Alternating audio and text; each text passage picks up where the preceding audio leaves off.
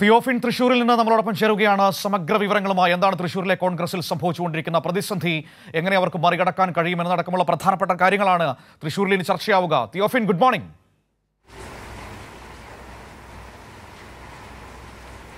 Good morning Manu.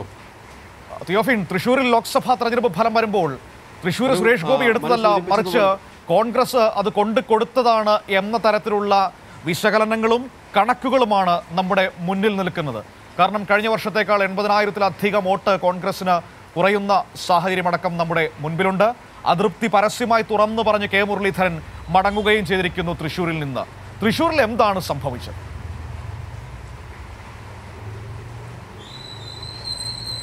Manu കണക്കുകൾ വ്യക്തം തന്നെയാണ്. മനു സൂചിപ്പിച്ചതുപോലെ എൺപതിനായിരത്തിലധികം വോട്ടുകൾ കോൺഗ്രസിൽ നിന്ന് ചോർന്നപ്പോൾ അതായത് കഴിഞ്ഞ തവണ രണ്ടായിരത്തി പത്തൊൻപതിൽ ടി എൻ പ്രതാപൻ നേടിയ വോട്ടിനെ അപേക്ഷിച്ച് എൺപത്തി അയ്യായിരത്തോളം വോട്ടുകളാണ് യു ഡി എഫിൽ നിന്നും ചോർന്നു പോയിട്ടുള്ളത്. ആ ചോർന്നു പോയ വോട്ടുകളാണ് എഴുപത്തി നാലായിരത്തിലധികം വരുന്ന വോട്ടിന്റെ ഭൂരിപക്ഷമായി കെ മുരളി സുരേഷ് ഗോപിക്ക് ലഭിച്ചത് എന്നത് കണക്കുകൾ തന്നെ വ്യക്തമാക്കുന്നു. അതിനൊരു കാരണം കൂടിയുണ്ട്. എൽ ഡി എഫിനെ സംബന്ധിച്ച് വോട്ട് ചോർച്ച വന്നിട്ടില്ല. എൽ ഡി എഫിന് കഴിഞ്ഞ തവണ ലഭിച്ചതിനേക്കാൾ പതിനാറായിരം വോട്ട് കൂടുതൽ ലഭിച്ചിട്ടുമുണ്ട്.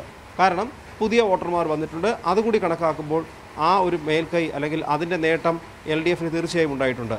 ആ നിലയ്ക്കാണ് കൃത്യമായി ഇവിടെ നിന്ന് ചോർന്നു പോയ വോട്ട് അപ്പുറത്തുണ്ട് എന്നത് കണക്കുകൾ വ്യക്തമാക്കുക ആ ആ കണക്കിൽ നിന്നാണ് നമുക്ക് തന്നെ മനസ്സിലാവുന്നത് ഇവിടെ വോട്ട് മറിക്കൽ നടന്നിട്ടുണ്ട് അല്ലെങ്കിൽ വോട്ട് കൃത്യമായി നേതാക്കൾ തന്നെ ചോർത്തിയതാണ് എന്ന്. ഇത് വളരെ കൃത്യമായി കെ മുരളീധരന് മനസ്സിലായി. അത് തിരിച്ചറിഞ്ഞതോടുകൂടിയാണ് അദ്ദേഹം വളരെ രൂക്ഷമായ ഭാഷയിൽ പ്രതികരിച്ചത്. കാരണം അദ്ദേഹത്തിനോടൊപ്പം നടന്ന് വിജയപ്രതീക്ഷയുണ്ട് വിജയിപ്പിക്കും എന്ന് പറഞ്ഞ് കൊണ്ട് നടന്ന് ഇവരെല്ലാം കൂടി ഈ ഈ നേതാക്കൾ തന്നെയാണ് ഈ ചതി അദ്ദേഹത്തോട് ചെയ്തത്. അത് കെ മുരളീധരന് വളരെയധികം വ്യക്തമായി ഇന്നലെ ഉച്ചയ്ക്ക് മുമ്പ് തന്നെ അദ്ദേഹത്തിന് അത് വ്യക്തമായി. അതോടുകൂടി അദ്ദേഹം വീട്ടിൽ നിന്ന് പിന്നീട് പുറത്തിറങ്ങിയിട്ടില്ല. കാണാൻ ചെന്ന മാധ്യമപ്രവർത്തകരെ കാണാൻ അദ്ദേഹം തയ്യാറായില്ല. വൈകിട്ട് ഇതെല്ലാം കഴിഞ്ഞ അദ്ദേഹം നമ്മളെ കാണുമ്പോൾ മാനസികമായി വളരെയധികം തകർന്നിരുന്ന അവസ്ഥയിലായിരുന്നു. ആ ഒരു ആഘാതത്തിൽ നിന്ന് അദ്ദേഹം മുക്തനായിട്ടില്ല. അതിന്റെ അടിസ്ഥാനത്തിലാണ് അദ്ദേഹം പറഞ്ഞത് താൻ പൊതുപ്രവർത്തനം അവസാനിപ്പിക്കുകയാണെന്ന്. ഇനി ഒരു മത്സരത്തിനില്ല. മത്സരം മതിയായി. പൊതുപ്രവർത്തകനായി അതായത് പൊതുരംഗത്ത് നിന്ന് താൽക്കാലികമായി മാറി നിൽക്കുകയാണ്. പക്ഷേ താൻ കോൺഗ്രസ്സുകാരനാണ്. അതുകൊണ്ട് തന്നെ കോൺഗ്രസ്സുകാരനായിരിക്കുകയും ചെയ്യും. ഒരു സാധാരണ കോൺഗ്രസ് പ്രവർത്തകൻ എങ്ങനെയാണോ ആ രീതിയിലുള്ള പ്രവർത്തനം മാത്രമേ ഉണ്ടാകുള്ളൂ. പാർട്ടിയിൽ നിന്നും ഇനി എന്തെങ്കിലും ഒരു സ്ഥാനങ്ങൾ വെച്ച് നീട്ടിയാൽ അതും സ്വീകരിക്കാൻ തയ്യാറായില്ല തയ്യാറാകില്ല എന്ന സൂചനകൾ അദ്ദേഹം നൽകിയിട്ടുണ്ട്. ഇതിനിടെ ഉച്ച മുതൽ തന്നെ ഇദ്ദേഹത്തിന് ഈ ആഘാതം ഏറ്റു എന്ന് വ്യക്തമായതോടുകൂടി തന്നെ കെ മുരളീധരനെ അനുനയിപ്പിക്കാനായി തൃശ്ശൂരിലെ നേതാക്കളൊക്കെ വരുന്നു.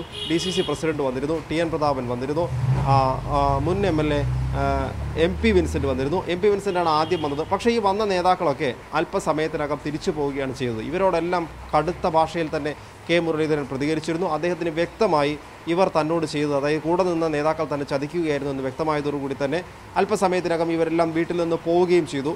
വൈകുന്നേരത്തോടുകൂടി ഈ മാനസിക വിഷമം അല്ലെങ്കിൽ ഈ ഒരു ആഘാതം ഏറ്റതുകൊണ്ട് തന്നെ അദ്ദേഹം തന്നോട് താനിനി പൊതുപ്രവർത്തനത്തിനില്ല എന്ന് പ്രവർത്തകരോട് വ്യക്തമാക്കി അല്പസമയം അദ്ദേഹം സുരേഷ് ഗോപിയേക്കാൾ കൂടുതൽ ഇപ്പോൾ ചിരിക്കുന്നത് ആരായിരിക്കാം? അത് പത്മജ വേണുഗോപാലാണോ? അതോ ടി എൻ പ്രതാപനാണോ?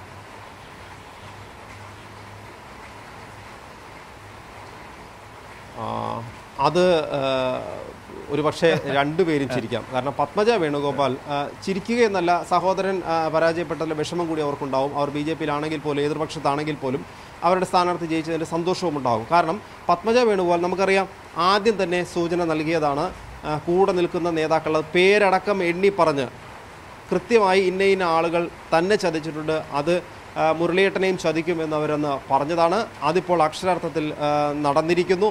അതുകൊണ്ട് തന്നെ അതുമായി ബന്ധപ്പെട്ട ഒരു പ്രതികരണം നമ്മൾ പത്മജ വേണുഗോപാലിൽ നിന്നും പ്രതീക്ഷിക്കുന്നുണ്ട്. ഇന്ന് പത്മജ വേണുഗോപാൽ തൃശ്ശൂരിൽ എത്തുമെന്നാണ് അറിയുന്നത്. എന്തായാലും അത്തരം കാര്യങ്ങൾ ആ, അല്ലെങ്കിൽ എന്തായാലും പ്രതികരണം എന്ന പത്മജ വേണുഗോപാലിന്റെ ഭാഗത്തുനിന്നുണ്ടാവും. പക്ഷേ ഇവിടെ ചിരിക്കുന്നത് ടി എൻ പ്രതാപൻ ഉൾപ്പെടെയുള്ളവരായിരിക്കും എന്നും അതും പറയേണ്ടി വരും. പക്ഷേ അപ്പോഴും ഒരു പ്രശ്നം ബാക്കിയുണ്ട്. ഇത്തരത്തിലൊരു ആഘാത ആഘാതം മുരളീധരൻ ഉണ്ടാകുമെന്ന് ഇവർ പ്രതീക്ഷിച്ചിരുന്നില്ല. ഇവരുടെ ഒരു ഈ നേതാക്കളുടെ കോക്കസ് ഇവർ കളിച്ച ഒരു കളിയുണ്ട്. ആ ആ കളിയിൽ ഇത്ര വലിയ ആഘാതം കെ മുരളീധരൻ ഉണ്ടാകുമെന്ന് അവരും പ്രതീക്ഷിച്ചില്ല. അത് തന്നെയുമല്ല ഇത് ഒരു യു ഡി എഫ് തരംഗവും ഒരു പക്ഷേ തൃശ്ശൂരിലെ നേതാക്കൾ ഇത്തവണ പ്രതീക്ഷിച്ചിട്ടുണ്ടാവില്ല.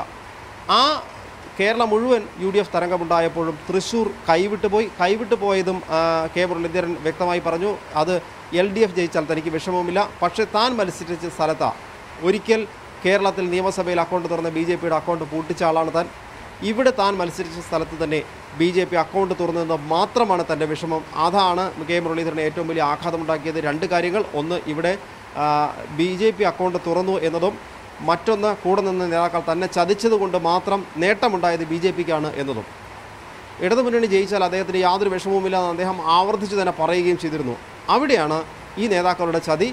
ഇനി ഈ സംസ്ഥാന നേതൃത്വം അല്ലെങ്കിൽ നേരത്തെ നേരത്തെ മനസ്സ് സൂചിപ്പിച്ചതുപോലെ കെ പി സി സി നേതൃത്വത്തിന് വളരെയധികം ശക്തമായി ഹൈക്കമാൻഡിനോട് അവകാശപ്പെടാം. തങ്ങൾ ഇവിടെ സീറ്റുകൾ പരമാവധി നേടിയെടുത്തു എന്ന് പറയുമ്പോഴും തൃശ്ശൂർ സീറ്റ് ബി ജെ പിക്ക് കൊടുത്തതിൽ ബി ജെ പിക്ക് അക്കൗണ്ട് തുറക്കാൻ അവസരമുണ്ടാക്കി കൊടുത്തതിന് എന്തായാലും സംസ്ഥാന നേതൃത്വത്തോടും ഹൈക്കമാൻഡിനോടും തൃശ്ശൂരിലുള്ള നേതാക്കൾ ഇനി മറുപടി പറഞ്ഞേ മതിയാവും.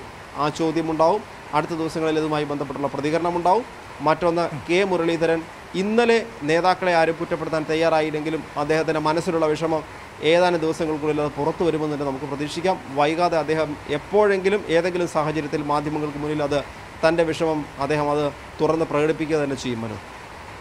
ശരി തിയോഫിൻ തൃശ്ശൂരിൽ നിന്ന് വിവരങ്ങൾ നൽകിയത്. തൃശ്ശൂരിലെ കോൺഗ്രസിലെ പ്രതിസന്ധിയെക്കുറിച്ചാണ് സംസാരിച്ചത്. ഏതായാലും എന്താണ് സംഭവിക്കാൻ പോകുന്നത് എന്ന് നമുക്ക് അറിയേണ്ടതുണ്ട്. ഇനിയിപ്പോൾ ആകാംക്ഷയോടെ കാത്തിരിക്കുന്നത് പത്മജ വേണുഗോപാലിന്റെയും ടി എൻ പ്രതാപന്റെയും ഒക്കെ പ്രതികരണങ്ങൾക്ക് വേണ്ടിയിട്ടാണ്. കെ മുരളീധരൻ ഇനി തുറന്നു പറയുമോ എന്താണ് സംഭവിച്ചത് എന്നതും നമ്മുടെ മുൻപിലുള്ള ഒരു പ്രധാനപ്പെട്ട വിഷയം തന്നെയാണ്. വരും ദിവസങ്ങളിൽ ഈ പറയുന്ന കാര്യങ്ങളൊക്കെ സംഭവിക്കുമെന്ന് തന്നെയാണ് പ്രതീക്ഷിക്കുന്നത്.